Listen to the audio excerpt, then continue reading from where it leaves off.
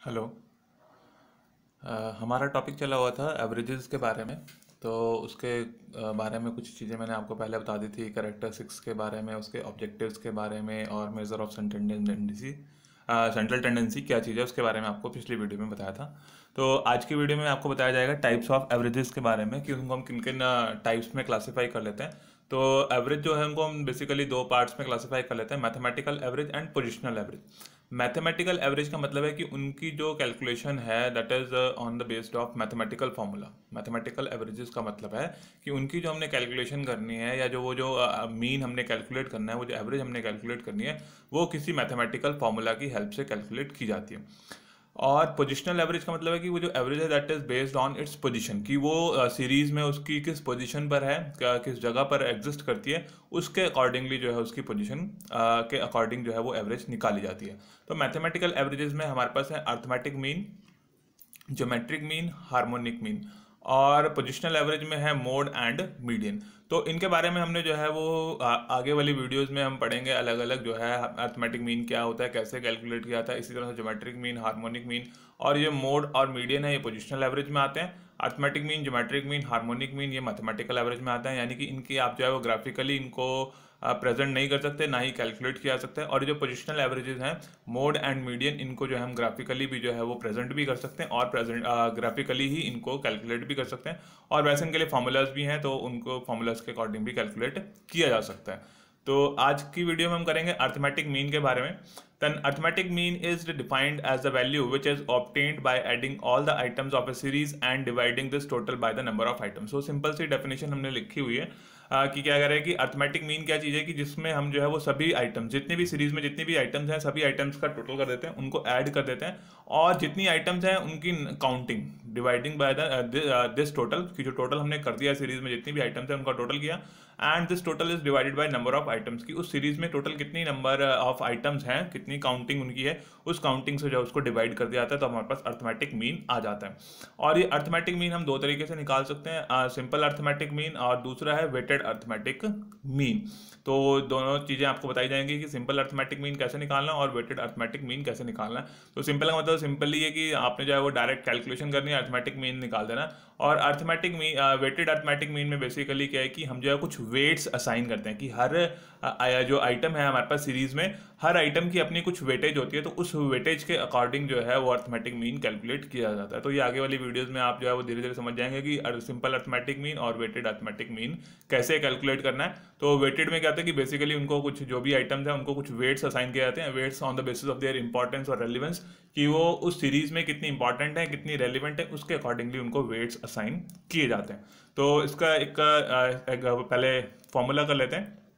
तो जैसे मैंने आपको बताया था पहले उसमें जब पहला चैप्टर करवाया था आपको तो उसमें टाइप्स ऑफ़ सीरीज़ बताई थी। तो टाइप्स ऑफ़ सीरीज़ में बेसिकली हमने जो है वो तीन सीरीज़ हम लेके चलते हैं। एक इंडिविजुअल सीरीज़ दूसरा डिस्क्रीट सीरीज़ और तीसरा जो है कॉन्टिन्यूस सीरीज़ ठीक है? Individual series discrete series and continuous series तो तीनों सीरीज़ में थोड़ा थोड़ा सा फॉर्मूले में डिफरेंस आता है तो उस सीरीज़ के अकॉर्डिंगली फॉर्मूला हमने लगाना है और उसी के अकॉर्डिंग कैलकुलेट करना है। तो इंडिविजुअल सीरीज़ में क्या है कि सबसे पहले हम डायरेक्ट मेथड डायरेक्ट मेथड में कैसे कैलकुलेट करना है, उसके लिए जो फॉर्मूला आपका एक्स बार इसको जो ऊपर आपकी लाइन लगी हुई है, इसको हम बार पढ़ेंगे। तो x bar is equal to ये वाला जो साइन है आपका दैट इज़ फॉर समेशन और सिग्मा सिग्मा भी पढ़ सकते हैं समेशन भी पढ़ सकते हैं। तो x bar is equal to sigma x divided by n कि आ, कैसे करना है? तो एक्स बार तो मतलब हो गया अर्थमेटिक मीन जो अर्थमेटिक मीन है इसको हम रिप्रेजेंट करते हैं एक्स बार से clear and sigma x sigma का मतलब है टोटल और टोटल किस चीज़ का? जो उसके आगे लिखा है तो उसके आगे लिखा हुआ है एक्स यानी कि एक्स का टोटल जो है वो सिग्मा एक्स हो गया यानी कि sum of the values of the items of a series तो जो वेरिएबल है उस वेरिएबल को हम एक्स से रिप्रेजेंट करते हैं तो उन वेरिएबल्स का टोटल सिग्मा एक्स हो गया and n n is number of observation की टोटल नंबर ऑफ़ ऑब्जर्वेशन कितनी है उससे आप डिवाइड करेंगे तो आपके पास जो है वो मीन आ जाता है. देन इंडिविजुअल सीरीज़ में ही एक शॉर्टकट मेथड भी है हमारे पास कैलकुलेट करने के लिए तो शॉर्टकट मेथड में क्या है कि mean x bar is equal to a plus sigma d divided by n तो एक्स बार का मतलब तो मैंने बता दिया कि अर्थमेटिक मीन ही है, इसको अर्थमेटिक मीन को हम एक्स बार से रिप्रेजेंट करते हैं। एंड सिग्मा डी डी का मतलब होता है deviation and deviation of items from the assumed mean कि जो आइटम्स हैं, जो एक्स की वैल्यूज़ हैं, उसके हमने एज्यूम्ड मीन से डेविएशन लेने हैं। तो एज्यूम्ड मीन का मतलब कि हमने मान लिया। एज्यूम्ड मीन का मतलब एज्यूम कर लिया, मान लिया कि जो सीरीज़ है, उस सीरीज़ में से हम किसी भी आइटम को जो है, वो एक एज्यूम कर लेते हैं कि ये मीन है और उसके अकॉर्डिंगली कैलकुलेशन की जाती है। और एक्स बार का मतलब अर्थमेटिक मीन ए का मतलब जो है यहाँ पे हमारे पास एज्यूम्ड मीन की जिसको हम अपनी तरफ़ से मान लेंगे कि ये एज्यूम्ड मीन है। एंड डी का मतलब है डेविएशंस जो कि हमने जो है वो लेने हैं एज्यूम्ड मीन से। एंड एन का मतलब नंबर ऑफ़ ऑब्जर्वेशन जो पहले था वो एन का मतलब नंबर ऑफ़ ऑब्जर्वेशन यहाँ पर भी है। और सिग्मा डी का मतलब हो गया टोटल ऑफ़ डेविएशन की जो डेविएशन हमने लिए हैं सीरीज़ ऑफ़ जो आइटम्स हैं, उन आइटम्स के हमने एज्यूम्ड मीन से जो डेविएशन लिए उनका सम टोटल जो है वो सिग्मा डी हो गया। ए का मतलब एज्यूम्ड मीन उसमें जो है वो डिफरेंसेस ऐड करने हैं एन से डिवाइड करना है। और जब आप इस इक्वेशन को सॉल्व कर लेंगे, तब आपके पास मीन आ जाएगा, ठीक है? तो इंडिविजुअल सीरीज़ में आपको दो मेथड्स बता दिए मैंने।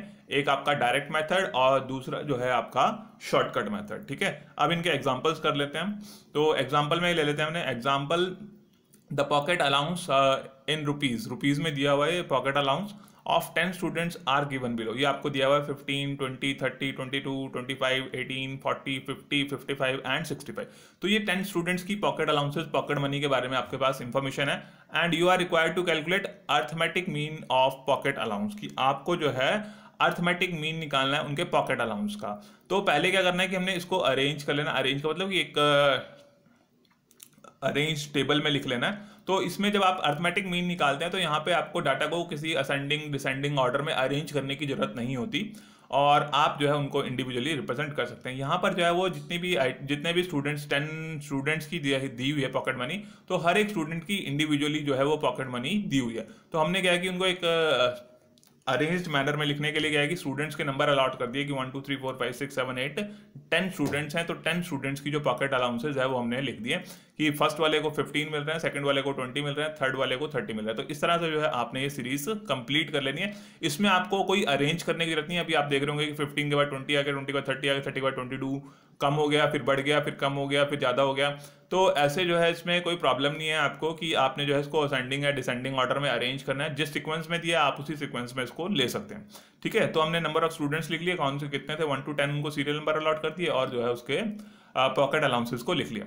अब आपको बताया था कि डायरेक्ट मेथड से अगर आपने कैलकुलेट करना है तो क्या करेंगे? क्योंकि हमें अगर क्वेश्चन में कहा गया कि आपने डायरेक्ट मेथड कैलकुलेट करना है ऐसे कैलकुलेट करना है, या फिर जो है शॉर्टकट मेथड से कैलकुलेट करना है, तब तो आपको वही मेथड अडॉप्ट करना है। बट अगर उन्होंने स्पेसिफिकली आपको मेंशन नहीं किया है कि किस मेथड से कैलकुलेट करना है तो वो आपकी मर्ज़ी है कि आप किस मेथड से कैलकुलेट करेंगे बट आपकी कैलकुलेशन जो है वो ठीक होनी चाहिए। तो इसमें हमारे पास आ गया x bar. Is equal to sigma x upon n ये फॉर्मूला आपको बताया था मैंने पिछली स्लाइड में। तो ये फॉर्मूला हमने याद रखा हुआ था, हमें पता है कि मीन निकालना है और ये इंडिविजुअल सीरीज़ है कि हर एक आइटम जो है वो इंडिविजुअली बताई गई है, हर एक स्टूडेंट की पॉकेट मनी अलग अलग बताई गई है। तो इसमें क्या है कि sigma x divided by n तो सिग्मा एक्स का मतलब होता है कि टोटल ऑफ़ एक्स एक्स का मतलब है वेरिएबल वेरिएबल क्या है? पॉकेट मनी और एक्स का पता कैसे चलेगा आपको कि वो जिस चीज़ का आपने मीन निकालना है arithmetic of mean of pocket allowance so that means कि पॉकेट अलाउंस का आपको जो है वो मीन निकालना है तो पॉकेट अलाउंस जो है वो आपका एक्स वेरिएबल हो गया. तो जिस वेरिएबल का हमने जो है वो निकालना है अर्थमेटिक मीन तो वो यहाँ से पता चलता है कि अर्थमेटिक मीन निकालना है पॉकेट अलाउंस का तो पॉकेट अलाउंस जो है वो हमारा वेरिएबल हो गया और ये वेरिएबल की डिफरेंट वैल्यूज़ दी हुई है. तो जो वेरिएबल है, उसको हम एक्स से रिप्रेजेंट कर रहे हैं और ये जो है कॉलम हमारे पास कंप्लीट आ गया। इस कॉलम का टोटल किया सिग्मा एक्स से लिख दिया उसको। टोटल जो है इसका सिग्मा एक्स से लिखना है हमने that is equal to three forty और ये नंबर ऑफ़ स्टूडेंट्स काउंट किए दैट इज़ टेन कितने स्टूडेंट्स की इन्फॉर्मेशन दी हुई है? टेन स्टूडेंट्स की। और अगर हमने इसको काउंट भी किया तो हमारे पास टेन स्टूडेंट्स आते हैं। One two three four up to ten जो है टेन स्टूडेंट्स हो गए। टेन स्टूडेंट के पॉकेट अलाउंसेज हो गए। तो x bar is equal to sigma x divided by n तो सिग्मा एक्स कितना है हमारे पास? Three forty sum total x का। एंड एन जो है वो number of items ten ten से डिवाइड किया that is equal to thirty four तो हमारे पास जो है हमने अर्थमेटिक मीन निकालना था पॉकेट अलाउंस का तो एवरेज पॉकेट अलाउंस जो है वो उनका थर्टी फोर रुपीज़ आ गया। तो ये है हमारा डायरेक्ट मेथड इसी क्वेश्चन को हम जो है वो शॉर्टकट मेथड से भी कर लेते हैं। तो शॉर्टकट मेथड से अगर हमने इसको करना है तो example the pocket allowance in rupees of ten students are given below तो वही आपका सेम एग्ज़ाम्पल हमने ले लिया। तो सेम एग्ज़ाम्पल लिया तो नंबर ऑफ़ स्टूडेंट्स जो है वो हमने वन टू टेन लिख लिए, उनके पॉकेट अलाउंसेस जो है वो एक्स लिख लिए। अब सबसे पहली बात आपने क्या करनी है कि जब भी आपके पास क्वेश्चन दिया है तो उसने कहा है कि आपको जो है इसका कैलकुलेट करना है बट हम इसको शॉर्टकट मैथड से कर रहे हैं। नहीं मैंशन किया हुआ बट आपको बताने के लिए हम जो शॉर्टकट मेथड से इसको कैलकुलेट करें। तो सबसे पहले आप क्या करें कि जो भी मैथड से आप कैलकुलेट करें, उसका फॉर्मूला लिख लें, ताकि कन्फ्यूज़न ना रहे, क्योंकि जब हम सीरीज़ को देखते हैं डाटा को देखते हैं तो कन्फ्यूज़न हो जाती है। तो सबसे पहले आपने क्या करना है कि सीरीज़ को आइडेंटिफाई करना है। तो सीरीज़ हमारी इंडिविजुअल सीरीज़ है। और इंडिविजुअल सीरीज़ में अगर हमें शॉर्टकट मेथड से निकालना है तो उसके लिए फॉर्मूला है x bar is equal to a plus sigma d divided by n तो ये हमारे पास डाटा जो है वो गिवन है तो उसी डाटा को हमने यूज़ किया हुआ है। अब हमने क्या करना था, जैसे हमें बताया गया था कि ए कैलकुलेटर एक मान लेना है। ए का मतलब क्या है? एज्यूम्ड मीन ए का मतलब क्या है? एज्यूम्ड मीन यानी कि ये जो सीरीज़ है, इसमें से हमने जो है, वो एक्स में से किसी भी एक वैल्यू को जो है क्योंकि हमने मीन इसका निकालना है पॉकेट अलाउंस का तो आपने जो है, वो एज्यूम्ड मीन भी जो है, वो इसी नंबर्स में से कोई लेना तो कोशिश करनी है कि जो आपकी लगभग जो आपको लगता है कि मिडल टाइप की जो वैल्यू है मिडल वैल्यू हो सकती है उस मिडल वैल्यू के आप नज़दीक जितना लेंगे, उतनी कैलकुलेशन आपकी कम आएगी। बेशक आप 15 ले लें 20 ले लें 65 ले लें, कोई भी नंबर आप जो है वो एज्यूम्ड मीन मान सकते हैं। जिस भी नंबर से कैलकुलेट करेंगे फाइनल आंसर आपका सेम रहेगा। बट थोड़ा सा फ़ायदा क्या होता है कि अगर जो है वो मिडल टाइप की फिगर ले ली जाए कि जो बीच में आ रही है तो उससे हमारी कैलकुलेशन कुछ हद तक कम हो जाती है। बट अब हमने मान लो, इसमें से हमें लग रहा है कि 40 हमने जो है यहाँ पे एज्यूम्ड मीन लिया है। तो 40 हमारा एज्यूम्ड मीन ए हमने लिख दिया कि जो है ए हमने फोर्टी एज्यूम किया है। एंड उसके बाद क्या निकालना था? डी निकालना है। And d is equal to x minus a वो जो आपको फॉर्मूला बताया था, उस टाइम पे मैंने बताया था कि डी का मतलब है x minus a deviation of x from a कि जो हमारे पास सीरीज़ है, उस सीरीज़ की जो वैल्यूज़ है, उन आइटम्स का हमने डेविएशन लेना है एज्यूम्ड मीन से। और साइंस को इग्नोर नहीं करना है तो 15 एक्स की वैल्यू है फिफ्टीन फिफ्टीन माइनस फोर्टी कितना हो गया? माइनस ट्वेंटी फाइव फोर्टी जो है वो माइनस के हैं तो माइनस वाली वैल्यू ज़्यादा है तो minus twenty five twenty minus forty minus twenty thirty minus forty minus ten twenty two minus forty minus eighteen twenty five minus forty minus fifteen eighteen minus forty minus twenty two then forty minus forty is equal to zero and 50 minus forty अब क्या है कि 50 बड़ा हो गया और minus वाली item जो है वो छोटी होगी तो माइनस का साइन नहीं आएगा। 50 माइनस फोर्टी जो है वो 10 प्लस के आ जाएँगे। उसके लिए हमें साइन लगाने की ज़रूरत नहीं है। अगर चाहें तो आप यहाँ पे प्लस का साइन लगा सकते हैं, उससे कोई प्रॉब्लम नहीं है। 55 फाइव माइनस फोर्टी फिफ्टीन आ गया। 65 फाइव माइनस फोर्टी जो है वो 25 आ गया। अब हमें क्या चाहिए फॉर्मूले में? इसका टोटल चाहिए सिग्मा डी तो सिग्मा डी निकालना यानी कि जो डी जो डी की वैल्यूज़ हैं, ये डी की वैल्यूज़ आ गई, इनका टोटल कर दिया तो सिग्मा डी आ गया। प्लस वालों का टोटल आपने अलग करना है और माइनस वालों का टोटल आपने अलग करना है। माइनस का माइनस वाली वैल्यूज़ का टोटल अलग प्लस वाली वैल्यूज़ का अलग। और प्लस वाली वैल्यूज़ में से माइनस वाली वैल्यूज़ आपने माइनस कर देनी है। प्लस वाली वैसे आपने माइनस वाली जब आप माइनस करेंगे तो आप देखेंगे कि शायद से माइनस वाली आइटम्स का जो है वो टोटल ज़्यादा है, इसलिए साइन जो है वो माइनस का आएगा अगर प्लस वाली वैल्यूज़ ज़्यादा होंगी और माइनस वाली कम होंगी तो साइन प्लस का आएगा, बट हमारे पास जो है वो पॉजिटिव वैल्यूज़ का टोटल कम है और नेगेटिव वैल्यूज़ का टोटल जो है वो ज़्यादा है तो डिफरेंस जो है वो नेगेटिव में आएगा। तो a plus sigma d divided by n ये हमारा फॉर्मूला है। ए का मतलब एज्यूम्ड मीन जिसको हमने फोर्टी लिया है फोर्टी देन प्लस का साइन है प्लस का साइन लगा दिया हमने। सिग्मा डी ये जो डी हमने डेविएशंस लिए थे, इनका टोटल सिग्मा डी का मतलब सिग्मा का मतलब है टोटल और किसका टोटल लेना उसके आगे लिखा है डी तो डी का टोटल लेना डी हमने कैलकुलेट कर लिया था, और डी का टोटल आया माइनस सिक्सटी तो साइन इग्नोर नहीं करना माइनस सिक्सटी को हमने माइनस सिक्सटी लेना है। एन ये हमारे पास नंबर ऑफ़ स्टूडेंट्स एन कितना है? टेन है तो टेन से इसको डिवाइड कर देंगे। देन फोर्टी का फोर्टी आ गया and minus sixty divided by ten कितना हो गया? Sixty divided by ten six हो गया, और साइन माइनस का आएगा. तो साइन माइनस का आएगा, ये माइनस और प्लस माइनस हो जाएँगे.